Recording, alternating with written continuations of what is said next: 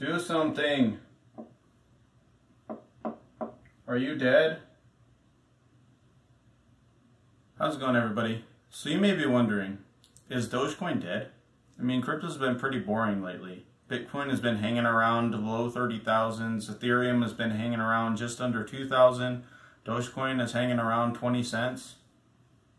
What happened to all this crazy movement that we saw earlier in the year? So Pro the Doge, or the Dogecoin Millionaire, is offering merch now. And I saw this cool shirt and decided that I wanted to support him and get one of his shirts. And in honor of him, I decided to make a video about Dogecoin and give you my thoughts. So forgive my poor artistry skills, leave a like to revive the Doge, and let's get into it. Some of you may be wondering, what is Dogecoin? What am I even talking about? So Dogecoin is a cryptocurrency that was originally created in 2013 as a joke. It wasn't created to have any usefulness whatsoever. It was just created for fun. And people kind of jumped onto this and, you know, they, they thought it was a lot of fun. It was a joke, it was a meme, and it was a less serious form of cryptocurrency. And so people started trading it around and giving it to each other as a joke and just for fun. And that community has evolved a lot over the past few years. And so now this Dogecoin community has become pretty strong and pretty big. As it was growing earlier this year, a lot of people saw an opportunity to make a lot of money from it. And a lot of people did make a lot of money from it once Elon Musk got involved and started tweeting about it. Another thing you may be wondering is how do you even pronounce this? Some people call it doggy coin, some people call it dog coin, other people call it dodge coin, other people call it doge coin. So, how do you pronounce it? I've looked up in multiple different areas, and the majority of people pronounce it as Dogecoin. Now, the easiest way to think of this is you think of luge, like a bobsled, but the one you ride on your back. That's way more dangerous and scary and stuff. But think of the word luge, and then as you, as you think of that, kind of transfer that sound over to Doge. So, luge, Doge, kind of the same way. So my first thought on Dogecoin. Is Dogecoin dead? Or is Dogecoin going to disappear? My answer to that is no. It's very unlikely that it's going to disappear because the community has grown so big and they love it so much that I don't think the Dogecoin community is going to let Dogecoin die. I think it's going to be around for a while. And I think a lot of changes have come into play to make it actually useful. So it has turned from a joke into something that can actually be used. So next thing, is Dogecoin a good investment? So this is something that you'll want to think about and kind of research because there's many factors that go into whether or not this is a good investment. So for the long term, I would say it's probably not a very good investment, but for the short term, the next maybe 5 to 10 years, it might be. So let's go over some of the reasons why it might be or why it might not be a good investment. So in the crypto space, there's a lot of different coins that have different purposes and accomplish different tasks. So the way Dogecoin is set up in the current time, it's more set up to be used as a currency instead of an asset or something that holds value. And the reason is that Dogecoin is designed to be an inflationary coin, meaning that more and more are produced each year. So the longer you hold it, the less it's going to become worth. It'll be like holding cash. Cash loses value over time, so the longer you hold it, the less it becomes worth. Now, it is wise to hold on to some cash for emergencies because, say something happens, you get in a car accident, and you need to pay your deductible. Most likely, your deductible is going to be $500 to $1,000 for the near future. So, it's good to hold on to some money, even if it decreases in value, because you need it for those kinds of emergencies. You may have a problem with your car, you may have other sorts of financial emergencies that pop up and you need to have some money on hand. So it's good to hang on to some cash or some money, but you shouldn't consider that money an investment. Okay, so another thing in the future that I kind of see Dogecoin being used for is since it's set up to be used like a currency, I imagine it's going to rise to a certain value and kind of plateau and then keep its value, almost like regular fiat currencies do right now. They're all worth approximately the same amount. The euro is worth a little bit more than the dollar. Some of the other currencies are worth less, so they're all about the same, but they stay pretty even in their value. They don't usually decrease or increase at crazy amounts at a certain time. Now, the reason I say that it could be used as a currency is because the way it's designed. Since it's inflationary and you don't want to hold on to it as an investment, it makes more sense to use it and spend it and exchange it since the value is going to reach a certain point and kind of maintain. Since Dogecoin is inflationary, that's one of the reasons why I see it as being useful for a currency in the future. Bitcoin is deflationary and it has a very high value. Ethereum has so many uses that it's going to be used in a variety of different ways so most likely people aren't going to want to go buy drinks and snacks and go to the grocery store using Bitcoin or Ethereum because they're going to have different uses. But with Dogecoin, people will be happy to use it because it's got a low value and they have no reason really to keep it because it'll reach a certain value where it kind of maintains. So next point, and I think this is an important one, this is one that a lot of people are going to talk about, is why would you use Dogecoin when you could just use the dollar? It doesn't make any sense to a lot of people why you would convert your money to this Dogecoin to go and buy things. So this is something that I've thought about a lot, and I don't really have an answer yet, but I've come up with a couple hypothetical scenarios as to why people would use Dogecoin. So one of the scenarios that I came up with is let's say in the future that the US government stops printing physical money.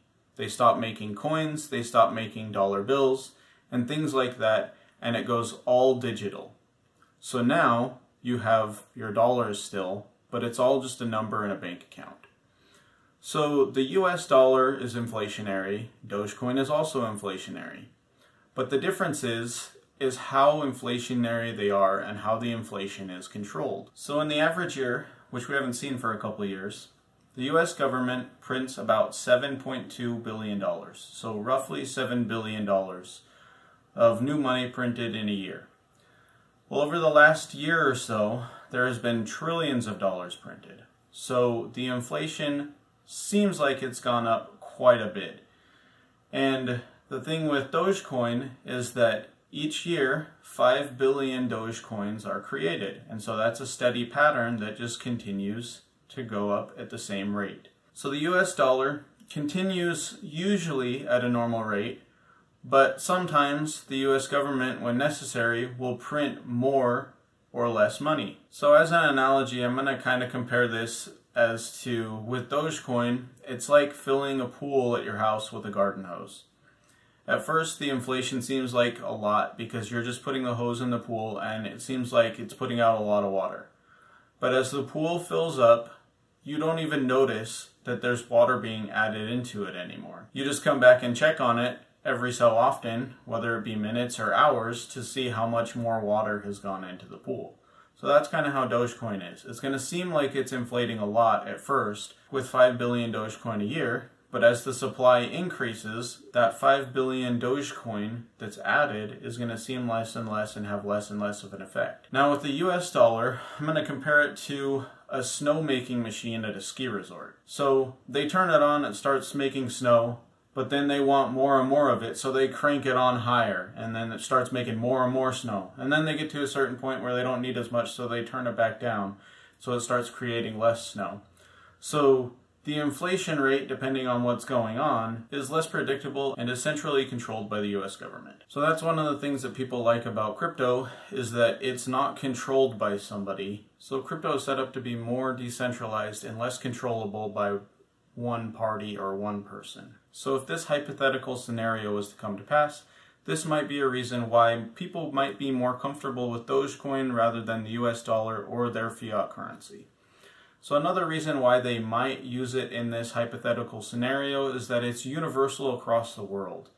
It's a currency that one Doge equals one Doge no matter where you are in the entire world. And this is something that I think crypto has a good advantage in, in that all over the world, each crypto is worth the same price no matter where it is. So this will be one of the benefits that I think crypto will have in the future is that it can be used globally. So no matter where you are in the world, that you know you can use your crypto as long as it's accepted in that country. So because Dogecoin is one of the most loved cryptos, I think it's going to stay around for a while and it might become more and more usable over time as different developments come by. Similar to how Google became the preferred search engine on the internet, even though there was tons of other ones, and how Amazon became the preferred online retailer, even though there was lots of other ones as well. Dogecoin may become a preferred digital currency in the future because people like to use it so much. Now, cryptos are still fairly early in their development phases, so there could be another crypto that comes out that proves to be more useful and more usable than Doge, but I think people love Doge so much that it's not going to go anywhere in the near future. So, now Doge as an investment.